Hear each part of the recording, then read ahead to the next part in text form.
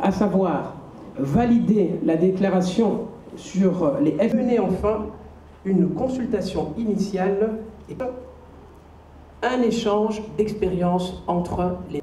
À nos premiers intervenants de se préparer, je vais appeler... Euh, Madame le représentant du bureau, j'ai l'éducation des femmes dans le processus de prévention et de la communauté de l'Afrique centrale, qui sont venus d'une société paisible où les hommes et les femmes vivent en partie sur la mise en place d'un réseau régional des femmes médias. Excellence, Mesdames et Messieurs, distingués à la promotion de l'égalité entre les sexes et l'autonomisation des Canadiens, ici représentés par son et leur, à remplir leurs engagements sur... Je saisis cette occasion pour exprimer ma profonde gratitude femmes-hommes et à l'autonomisation des femmes en Afrique en octobre 2000, qui protection et consolidation de la paix et redressement pour adresser les défis auxquels sont confrontées les femmes et les jeunes filles et en post-conflit. Accélération fragile de certains États membres de la CEAC des femmes en Afrique centrale, dans le processus qui ne ménageront aucun effort pour constituer la médiation et la consolidation de la paix pour un développement. À l'ambassadeur du Canada, s'il veut bien nous rejoindre ici. Mais, avant toute chose, exprimer. Nous rejoindre et d'utiliser l'autre pupitre, s'il vous plaît. Merci d'applaudir.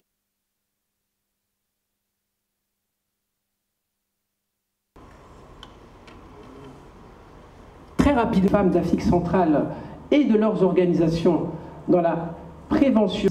Pour la première intervention, s'il vous plaît. De la CDAO, de la SADEC ainsi que d'autres partenaires régionaux, des, FD, des ODD et de l'agenda 20. J'encourage donc. La paix et la sécurité est au cœur de la politique étrangère féministe du Canada, qui comprend aussi la politique d'aide internationale féministe et notre politique de défense. Le Canada reconnaît qu'une paix durable n'est possible que lorsque...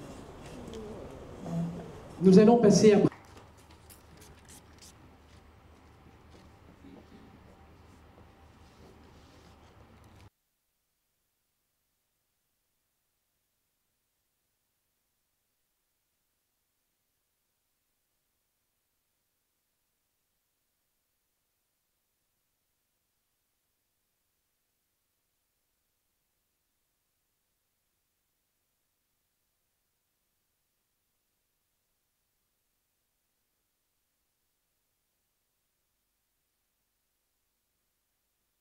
de la République démocratique du Congo.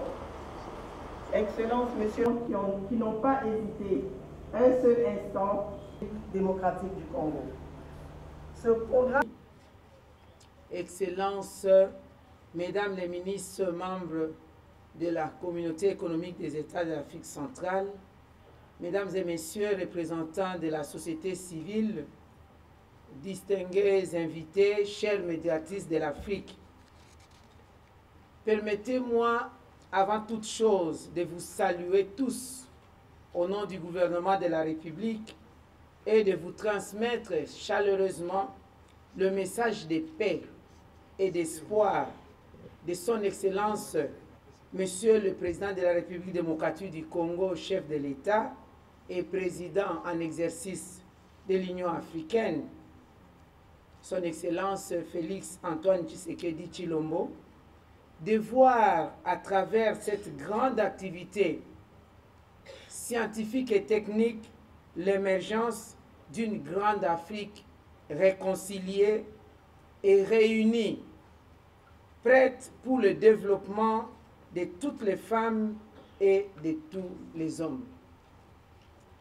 Au nom de mon pays, je tiens à exprimer ma reconnaissance et adresse mes sincères remerciements aux délégations respectives qui ont fait les déplacements de Kinshasa. À vous, différents partenaires qui avaient contribué à la réussite de cet événement, veuillez trouver ici l'expression de notre gratitude.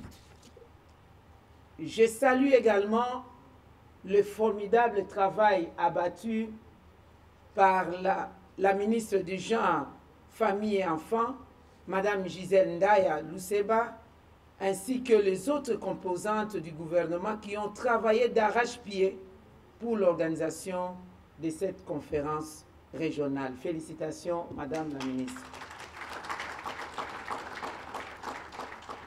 La conférence de ces jours qui porte sur femmes, paix et sécurité revêt une importance capitale pour notre continent en général et pour l'Afrique centrale en particulier.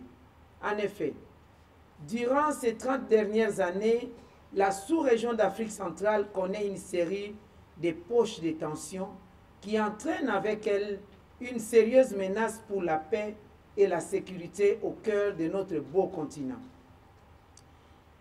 Ayant présent à l'esprit que la grande majorité de ceux qui subissent les effets préjudiciables des conflits armés sont des femmes et des enfants, du fait de constituer la couche sociale la plus vulnérable de notre population, je me réjouis pour ce faire de la convocation de cette conférence dont le thème est l'implication des femmes dans les processus de prévention, la médiation et la consolidation de la paix en Afrique centrale.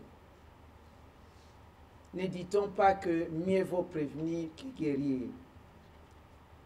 La longue liste des orateurs pour les débats sur les femmes, la paix et la sécurité pouvait en tout cas laisser penser que les choses s'améliorent. Mais la réalité est tout à fait différente. Le changement pour les femmes et les filles arrive, à un rythme lent que nous souhaiterons changer. La résolution 2493 de 2019 proposée par un pays frère, l'Afrique du Sud, invite les États membres à participer et à appliquer pleinement les dispositions de toutes les résolutions concernant les femmes, la paix et la sécurité et à intensifier leurs actions à cet égard. Cette résolution demande également que le pays soutienne les processus de paix, de favoriser l'inclusion et la participation des femmes au pourparler de paix dès le début. Il ne suffit pas de les inviter à la fin, mais dès le début, dès la conception, et ça sur le même pied d'égalité que les hommes. L'Afrique, dont 25 pays ont adopté un plan national de mise en œuvre de la résolution 1325 du Conseil de sécurité des Nations Unies, sur un total de 80 pays dans le monde, pourrait faire figure de modèles à cet effet. Malheureusement, seuls 7 d'entre eux ont atteint le seuil de 30% des femmes au Parlement. Le thème de cette conférence constitue donc une vraie interpellation et un encouragement pour la mobilisation et la prise de conscience des braves femmes de notre sous-région en vue de se constituer comme véritables parties prenantes dans les processus de prévention, médiation et consolidation de la paix en Afrique centrale. Mesdames et messieurs, distingués invités, en abritant ces assises qui nous réunissent ces jours la République démocratique du Congo se veut être un pays qui s'approprie de l'idée selon laquelle si les effets des conflits armés sur les femmes et les petites filles étaient mieux compris, s'il existait des arrangements institutionnels efficaces pour garantir leur protection, et si les femmes participaient pleinement au processus de paix, le maintien et la promotion de la paix et de la sécurité internationale serait facilitée, car les femmes en ont non seulement les pouvoirs innés, mais aussi la capacité de regrouper tous les protagonistes. C'est le lieu pour moi de vous affirmer combien je fonde l'espoir au nom du gouvernement congolais que la conférence de Kinshasa sur ces thèmes évocateurs aboutira à coup sûr sur une déclaration qui non seulement fera date, mais également sera suivie de la mise en place des mécanismes de mise en œuvre. Des échanges d'expériences issus de ces débats permettant un enrichissement réciproque, les leçons apprises des bonnes pratiques des uns et des autres contribueront à la consolidation de l'expertise de la sous-région. Le réseau des femmes médiatrices de la CEAC et son bureau provisoire, dont le lancement sera enclenché, je l'espère, au terme des présentes assises, constituera un puissant dispositif au service de la prévention, médiation et consolidation de la paix en Afrique centrale. Je puis déjà vous affirmer que la République démocratique du Congo n'hésitera pas un seul instant à y jouer un rôle avant-gardiste. Mesdames et messieurs, distingués invités, pour conclure, je vous exhorte à l'assiduité et à la détermination qui vous caractérise pour les résultats que nous attendons de vos cogitations. Je demeure confiant que l'Afrique ne sortira de ces divers conflits qu'avec la participation des femmes dans les mécanismes de prévention. Je disais, je demeure confiant que l'Afrique ne sortira de ces divers conflits qu'avec la participation des femmes dans les mécanismes de prévention, de médiation et de la consolidation de la paix dans notre continent, l'Afrique, le berceau de l'humanité. Je vous remercie. Notre vice-première ministre en charge de l'environnement et du développement durable, s'il vous plaît.